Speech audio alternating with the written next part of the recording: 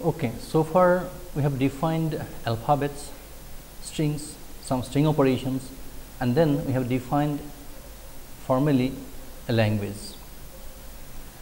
We have given some examples of language also. So, next we will discuss some properties of languages. Some of the properties we have already discussed. For example, the usual set theoretic properties with respect to union, intersection, complement, difference etc., hold even in the context of languages. So, we are interested in some other properties with respect to the newly introduced operations, concatenation, Kleene closure and positive closure. We find that concatenation of language is associative. We have already shown it. That means, if L 1, L 2 and L 3 are languages, then L 1 concatenation L 2 L 3 is equivalent to L 1 concatenation L 2 and concatenate with L 3 we have already shown it. Now, we know that concatenation of strings is not commutative in general. That is why concatenation of languages is also not commutative. That means, for two languages L 1 and L 2, we cannot say that L 1 concatenation L 2 is equal to L 2 concatenation L 1. They are not identical, because in general we know that if x and y are two strings, then x concatenation y is not identical to y concatenation x, they are not identical and hence L 1 concatenation L 2 is not equivalent to L 1 L 2 concatenation L 1. Then it is very easy to see that if L is any language, then if it is concatenated with the language containing singleton epsilon from both sides left side and right side, then it is equal to L, because every string when concatenated with epsilon from left or right gives the string itself. That is, if x is a string, then epsilon x equal to x epsilon is equal to x. Therefore, every string if L is a language, every string in the language whatever it may be. So, if you concatenate with epsilon from both sides, it will give the string itself. Therefore, the language is not going to be changed. Hence, we get L epsilon equal to epsilon L equal to L. Then, if we concatenate the language with the empty set phi from both sides L phi or phi L, it is going to give phi. So, you can prove it. Suppose that L phi is not equal to phi, then there must be a string which will belong to L phi. Therefore, we can write x as x 1 x 2 for some strings x 1 belonging to L and x 2 belong to phi. This is a definition of your concatenation. But phi being the empty set, there cannot be any string that belongs to phi. So, therefore, our original assumption that x belongs to L phi must be wrong. So, therefore, L phi must be empty. Similarly, you can show that x also does not belong to, there cannot be any string x belong to phi L and hence the result L phi equal to phi L equal to phi, it must be an empty set.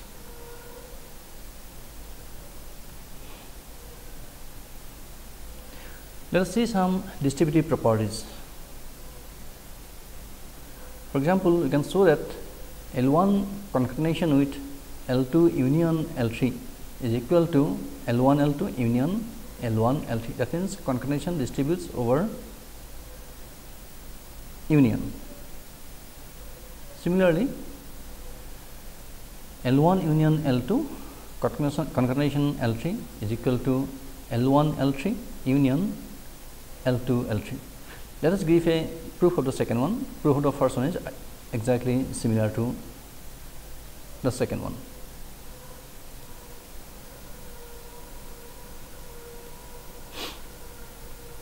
Suppose, so what I we are going to show is that L 1 union L 2 concatenation L 3 equal to L 1 L 3 union L 2 L 3.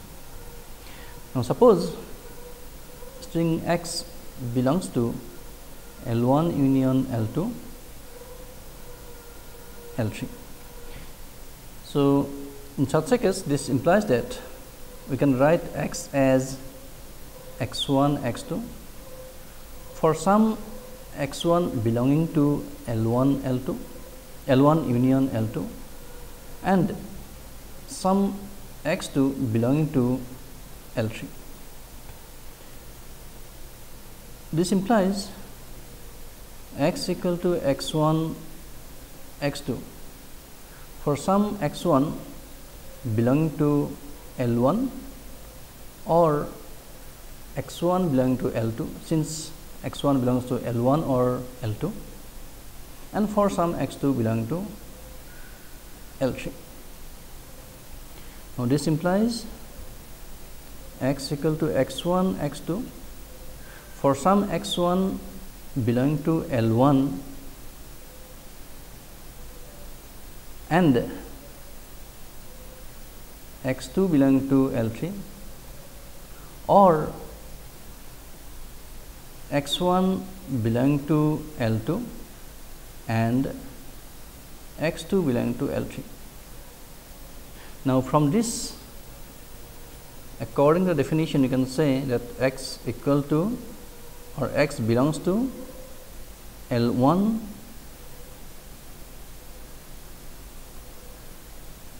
L 1 L 3 or x belongs to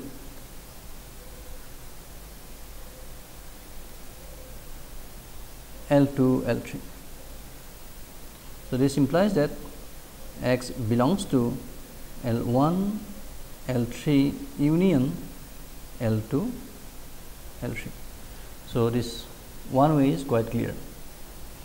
Now, let us show the other part the converse part. Suppose x belongs to L 1 L 3 union L 2 L 3. Now, this implies x belongs to. So, this implies x belongs to L 1 L 3 or x belongs to L 2 L 3. That means, we can write x as some x 3 x 4 such that x 3 belongs to L 1 or x 3 belongs to L 1 or x 3 belongs to L 2 and x 4 belongs to L 3. So, according to the definition you can write it like this. Therefore, you can write that x belongs to since x 3 belongs to L 1 or x 3 belongs to L 2 and x 4 belongs to L 3. Therefore, we can say that x belongs to L 1 union L 2 and concatenation with L 3. Hence, L 1 union L 2 from these two you can say that L 1 and L 2 L 3 equal to L 1 L 3 union L 2 L 3. So, hence the proof. Let us see some more properties. So, all these properties are numbered. So, there are 6 property in the sequence. So, if L1 is subset of L2 and L3 is a subset of L4, then L1 concatenation L3 is subset of L2 L4. Is easy to prove. Similarly, the other few results are also easy to prove. Say property 7 is phi star is singleton epsilon. The Kleene closure of singleton epsilon is equal to singleton epsilon and if epsilon belongs to L then L star equal to L plus is a positive closure that means Kleene closure equal to positive closure if epsilon belongs to L. So, next property is L star L equal to L L star equal to L plus. We will we'll just provide a proof of this.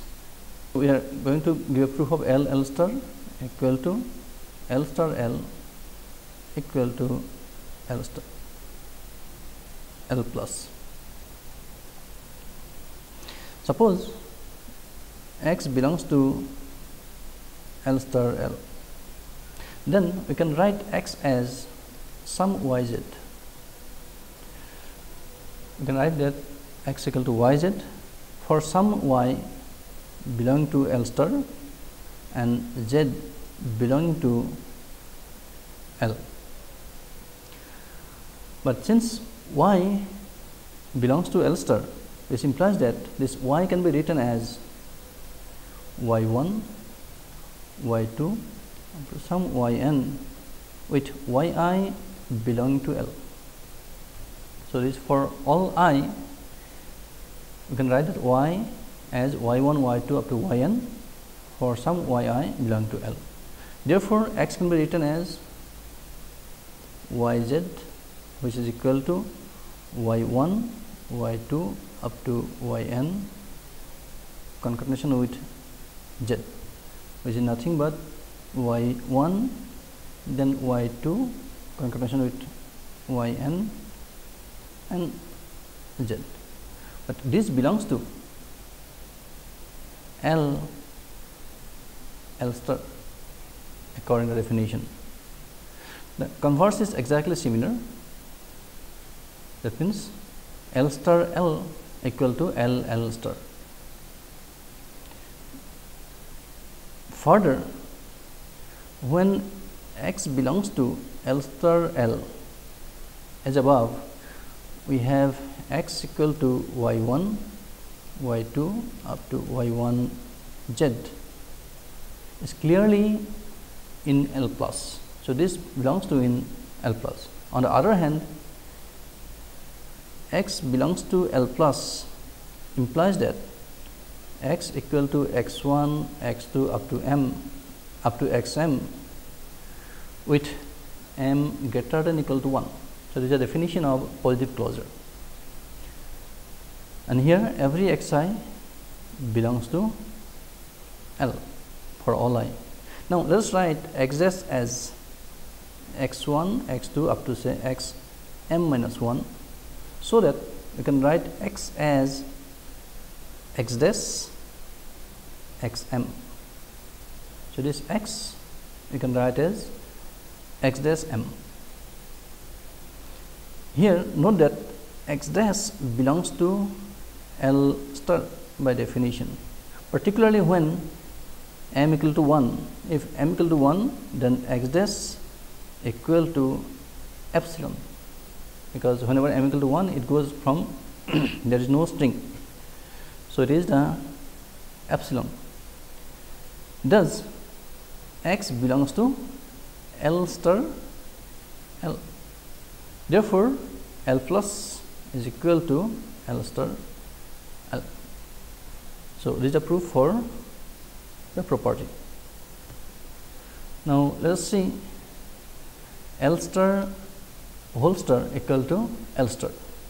So, we can use similar concepts to prove this property and some other similar properties. For example, L star L star equal to L star, L 1 L 2 star concatenation with L 1 is equal to L 1 concatenation with L 2 L 1 star. Let us give a proof for this property. So, we want to prove that L 1 L 2 whole star L 1 equal to L 1 L 2 L 1 whole star. First, let string x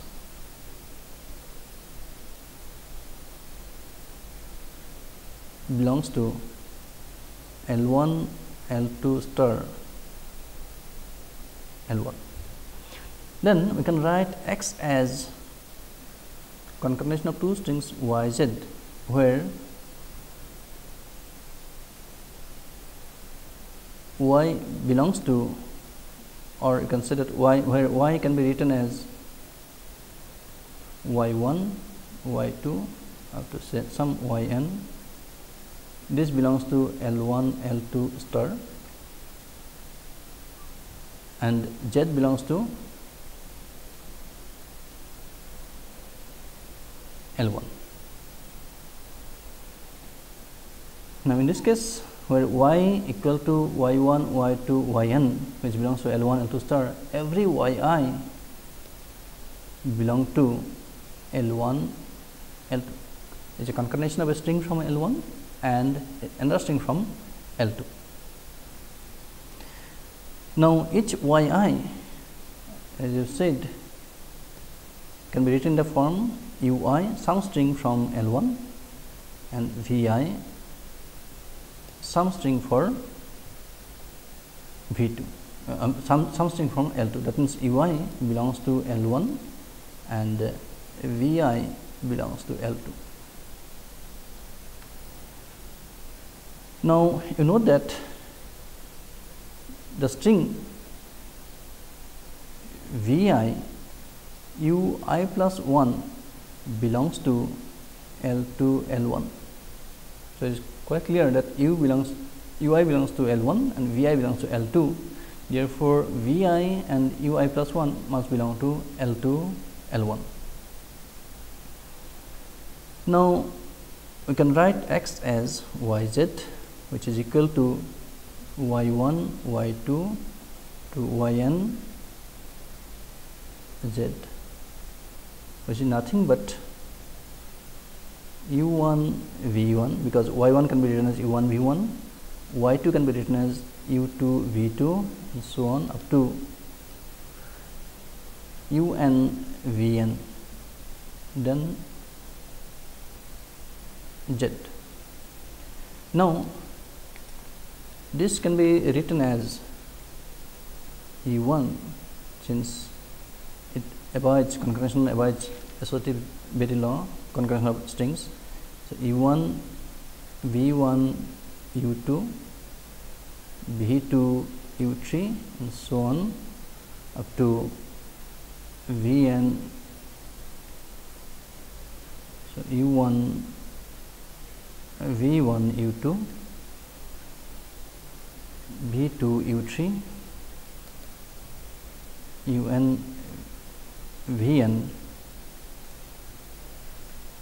z. Now, b1 u2 b2 u3 which all belongs to l2 l1 eventually the vn z belongs to l2 l1 since z belongs to l1 and vn belongs to l2. So, therefore, and again E 1 belongs to L 1. So, therefore, this belongs to L 1 concatenation L 2 L 1 star because there are concatenation from string from concatenation of strings from L 2 L 1. Therefore, we starting from x belongs to L 1 L 2 star L 1 we have found that x belongs to L 1 L 2 L 1 star. Similarly, we can show the converse that means if x belongs to L 1 concatenation L 2 L 1 star it will belong to L 1 L 2 star concatenation L 1. Therefore, the property L 1 L 2 star concatenation with L 1 is equivalent to L 1 L 2 L 1 whole star holds good. Let us see some more properties.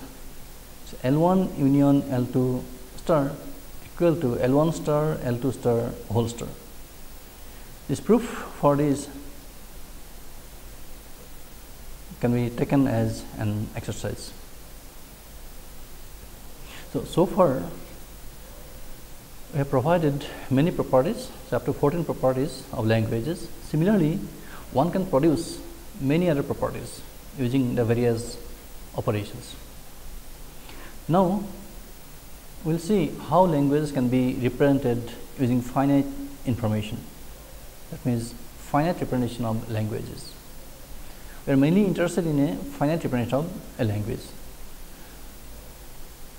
If a person is proficient in a particular language, it does not mean that he should produce all the sentences of the language. Basically, what we expect is that using a finite amount of information, one should be able to validate or construct different strings in the language. That means, by giving a finite amount of information, all the strings of a language shall be enumerated or validated. For example, if you see the case of compiler, the compiler can validate any program which is nothing but a string from the programming language using only a finitely many instructions incorporated in it. So, let us have a look at the languages for which finite representation is possible. Given an alphabet sigma, the languages with single string x and phi can have finite representation. For example, suppose for a language containing a single string x, so x is the finite representation and for the empty set, so empty set itself is a finite representation. And any finite language can also be given a finite representation simply by enumerating all the strings in it. So, those are the finite representations for the different languages. Therefore, the giving finite representation for infinite language is a non-trivial problem. If the language is finite, we can always enumerate the strings and which will be a finite representation for the language. So, let us see how to give a finite representation for an in infinite language. So, in this context the operations on languages may be helpful. We will see that various operations that we have discussed so far may be used to give this kind of representation. For example, using Kleene star operation we can have finite representation for some infinite languages. For example, you consider the language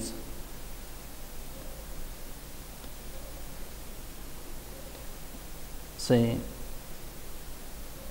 the language L which is the empty string epsilon then suppose A B A B A B A B A B A B A B A B A B A B and so on that means repetition of strings we are concatenating A B with A B finitely many times.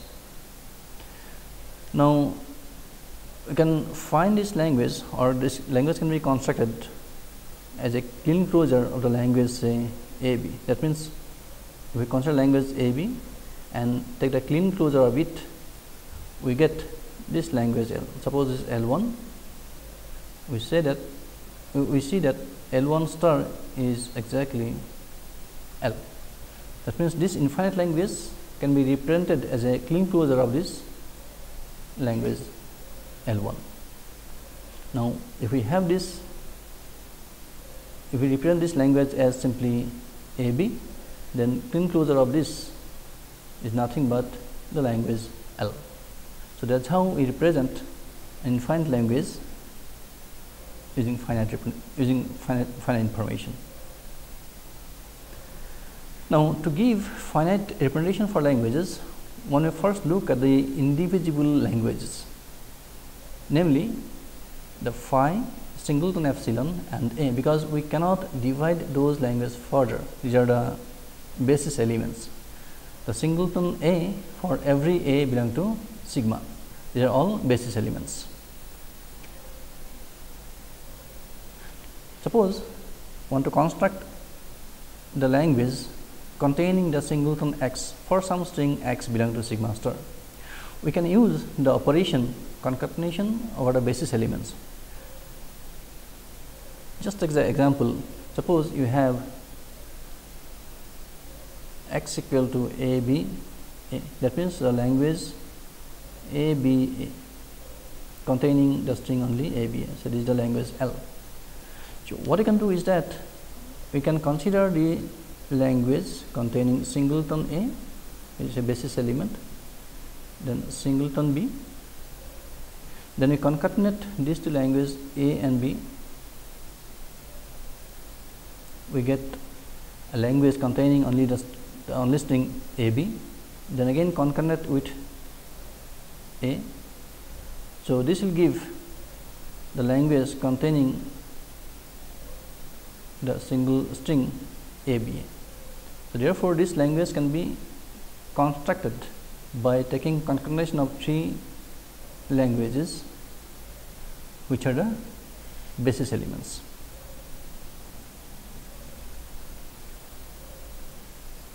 Any finite language over sigma say x 1, x 2 up to xn, where x its xi is a string over sigma star can be obtained by considering the union of this singleton elements x 1 union x 2 and so on.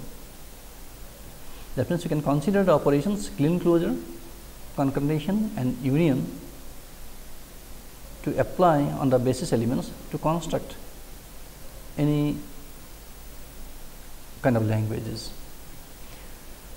Now, we look at the aspects of considering operations over basis elements to represent a language.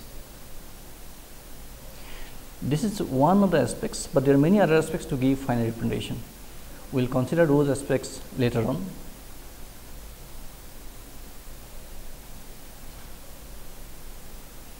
Now, the class of languages that we get by applying union, concatenation and Kleene closure for finitely many times on the basis elements is known as regular languages. The corresponding finite representation are known as regular expressions. Now, let us define regular expressions over an alphabet sigma recursively as follows. We consider phi, epsilon and a for every a belonging to sigma to be regular expressions representing the languages phi, the singleton epsilon and a respectively. That means, if we have phi, we say that it is a regular expression and this represents the language phi. If we have the regular expression sigma epsilon, then this represents the language containing a singleton epsilon and for every element a a belonging to sigma for any element a belonging to sigma a is a regular expression and it denotes or represents the language containing a single string of length 1 which is a itself. So, this is the basis case for the definition of regular expressions.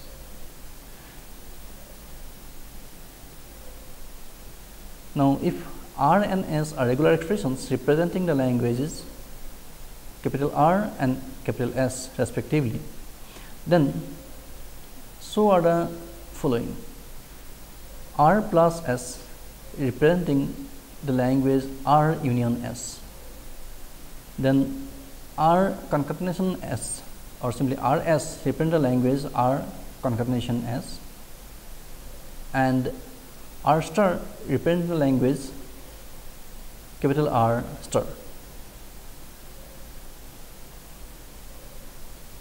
In a regular expression, we keep a minimum number of parentheses which are required to avoid ambiguity in expressions. For example, if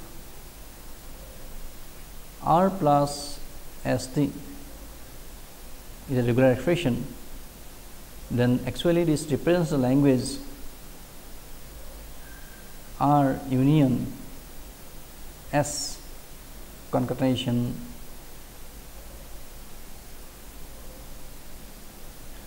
or R union S concatenation T.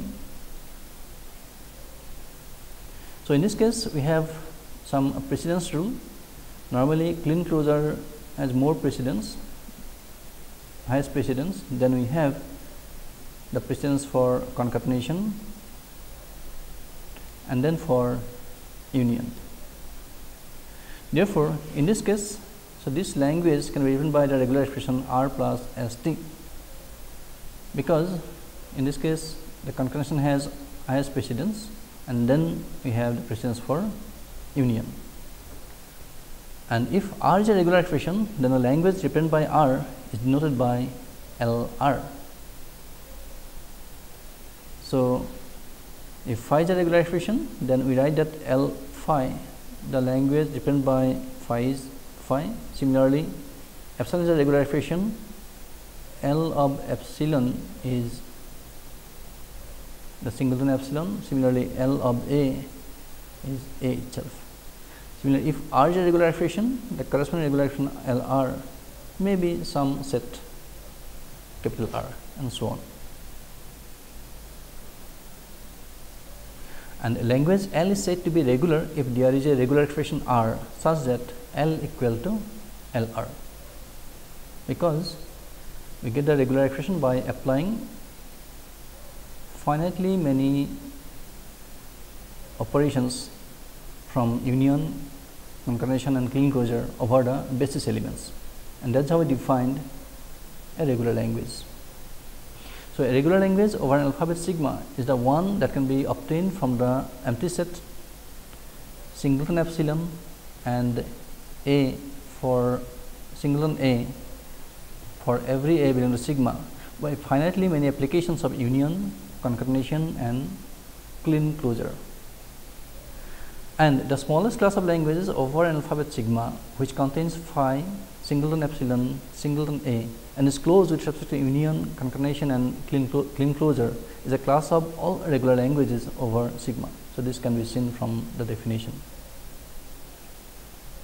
Now, let us give some examples of regular expressions and how can we construct regular expressions.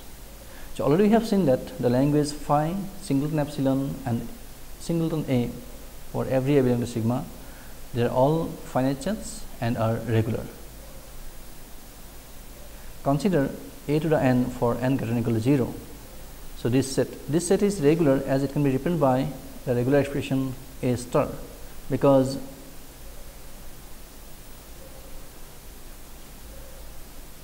So, A star basically it represents applying a Kleene closure to the language A. So, if we apply this Kleene closure to this A, the language containing a singleton A, then we get epsilon A, A A, A A A and so on. So, this is nothing but A to the n n greater than or equal to 0. When equal to 0, it will get epsilon. When n equal to 1, we get a. When n equal to 2, we get 2 a a and so on.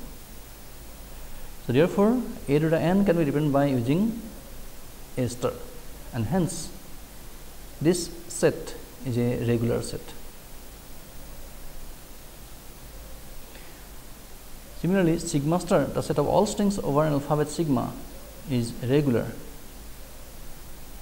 for instance, if sigma is the set containing a 1, a 2 to a n, then sigma star can be written as a 1 plus a 2 plus a 3 plus a n whole star. For example, if sigma equal to say a b, then sigma star equal to A or B whole star. So, you can represent it like this therefore, sigma star is a regular set. Let us consider the language the set of all strings over A B which contain A B as a substring. I can show that this set is a regular set. For instance, we can write this set as all the strings x belong to a b star such that a b is a substring of x and then this can be written as y y a b z for some y z belonging to sigma star. So, say here y and z may be any string from a b. So, any string from a b can be written as a b whole star and this is also a b whole star. So, we can write this as a concatenation of three languages is a b a b star and a b star. Now, this can be written as a plus b whole star a a plus b star. So, this is a regular expression for the given for a given language and hence this set is regular. Just consider language over 0 1 that contains 0 1 or 1 0 as substring. This can also be shown to be regular because you can write it as the set of all string x such that 0 1 is substring of x union all string over x such that 1 0 is substring of x. Now, this can be written as some y 0 1 z for some y z belong to sigma star union u 1 0 v for some u v belonging to sigma star. Is nothing but sigma star 0 1 sigma star because y z may be anything from sigma star union sigma star 1 0 sigma star because u v may be anything from sigma star. Therefore, this is a regulation because sigma star 0 1 and 1 0 are regular and we have expressed this language L using operations concatenation, Kleene closure, concatenation and union over the regular sets sigma star 0 1 and 1 0. Therefore, this L must be a regular set. So, in fact, we can write it as 0 plus 1 star which is sigma star 0 1 0 plus 1 star plus which means union 0 plus 1 star 1 0 0 plus 1 star. So, this is a regular expression representing the given language L.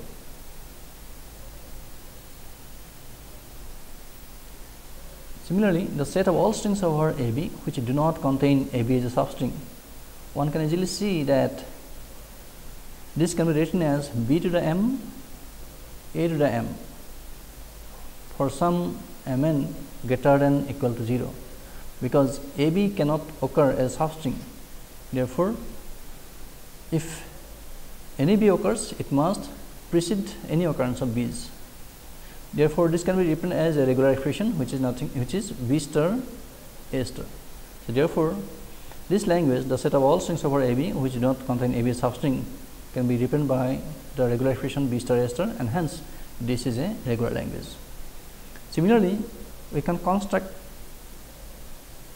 regular expressions for many other languages. For example, just consider the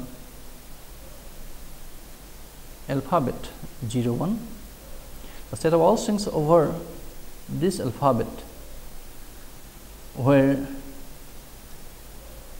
number of say ones is at least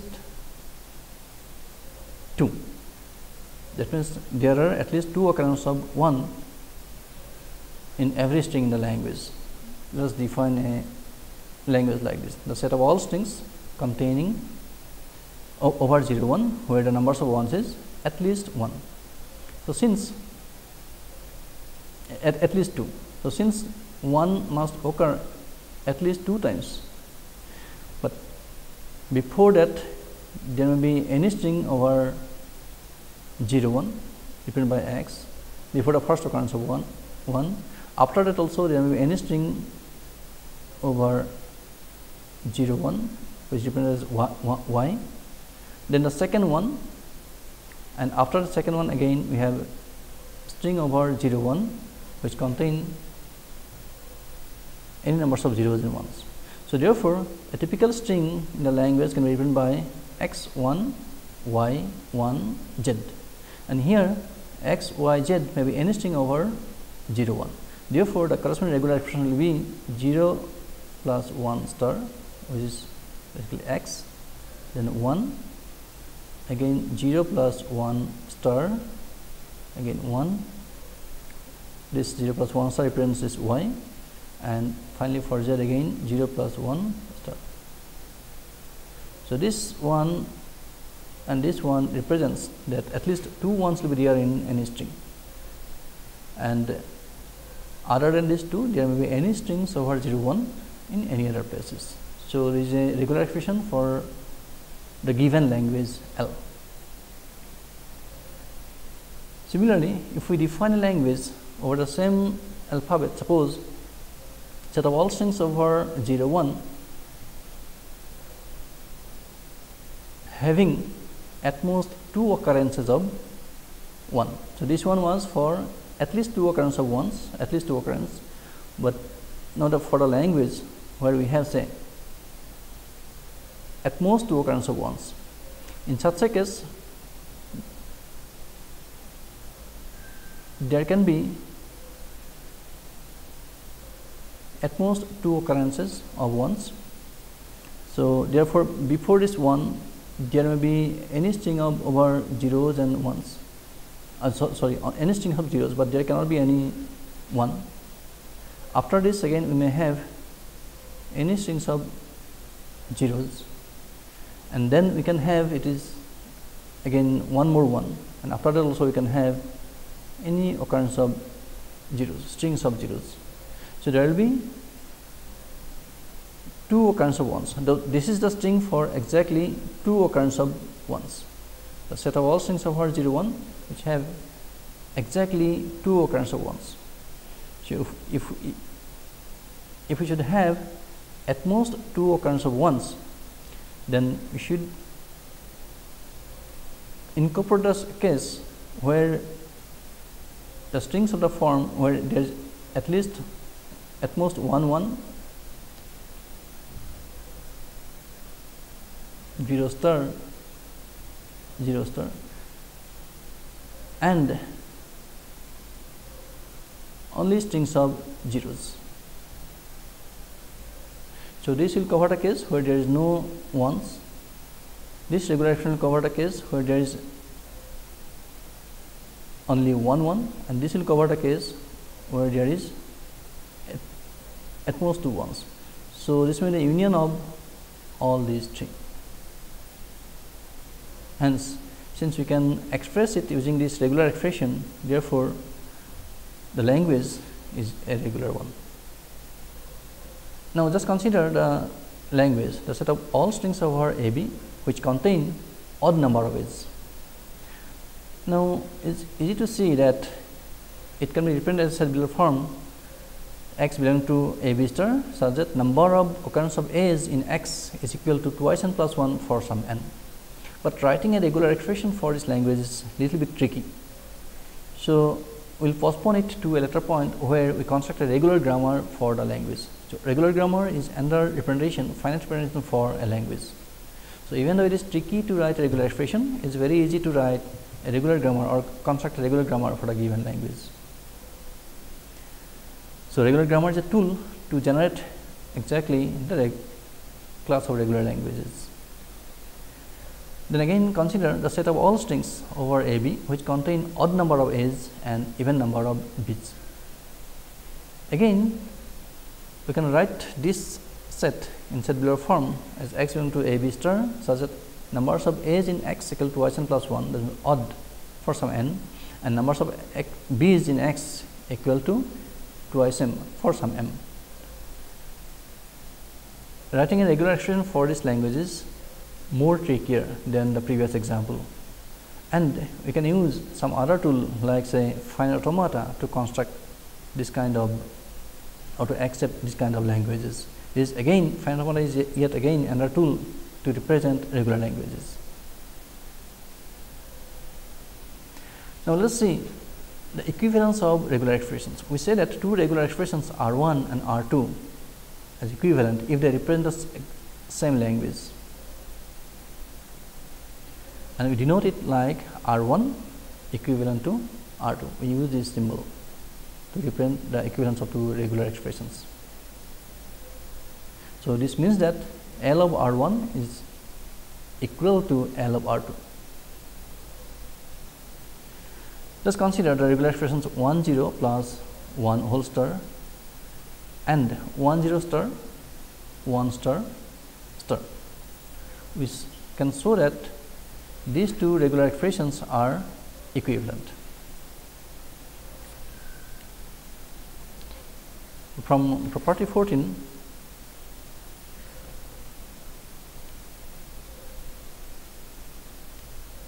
that we have already discussed regarding properties of languages is nothing but L 1 union L 2 star equal to L 1 star L 2 star whole star.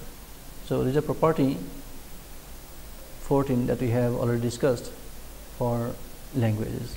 So, if you consider property 14 then assuming L 1 to be 1 0 and L 2 to be 1 we get exactly 1 0 union 1 whole star to be equal to 1 0 star 1 star whole star.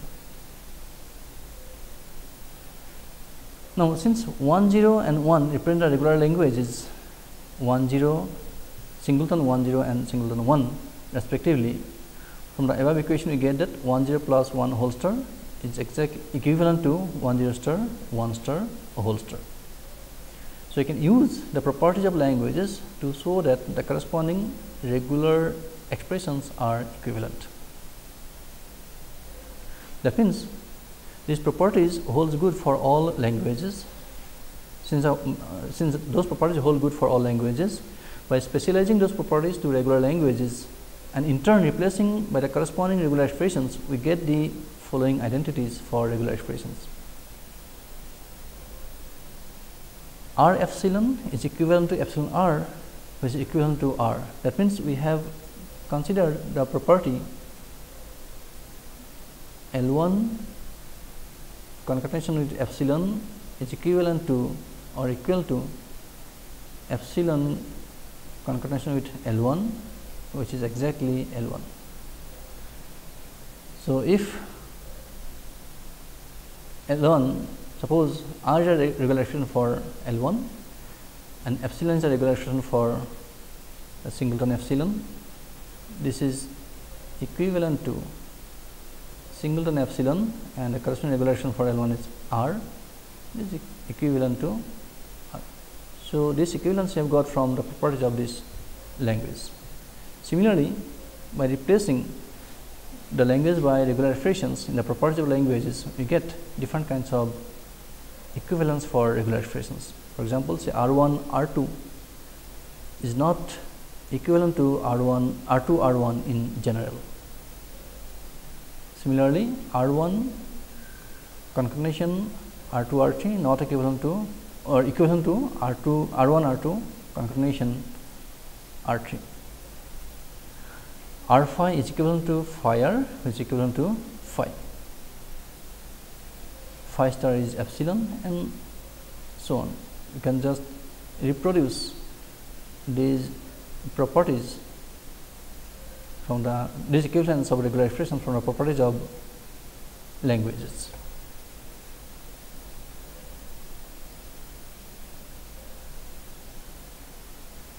Just consider this identity of regular expression. We can use or prove this identity by using the equivalence of regular expressions. For example, say b plus a star b star plus epsilon b is equivalent to b plus a star b star plus b plus epsilon b which is equivalent to b plus a star b star b plus b star b. So, in this case simply this b plus we have concurrent with a star b star and concurrent with epsilon we have got this result. Similarly, this b is concurrent with this term and this term. Now, this can be written as b plus a star b plus hence this can be written as b plus a star b plus because b plus b is subset of b plus a star b plus. So, therefore, we have got the first one b plus a star b star plus epsilon b is equivalent to b plus a star b plus this have got. Similarly, one can observe that b b, b star a star plus epsilon b plus will be equivalent to b star a star b plus. Similarly, we can show that these two regular expressions are equivalent by using the following step. So, in the first step we have got from this expression this equivalence ex expression from this we can use the regular expression properties to get eventually this expression and finally this can be written as 0 plus 1 0 star. Now, if L is represented by a regular expression R that is L r equal to R, then we may simply use R instead of L r to indicate the language. So, for given any language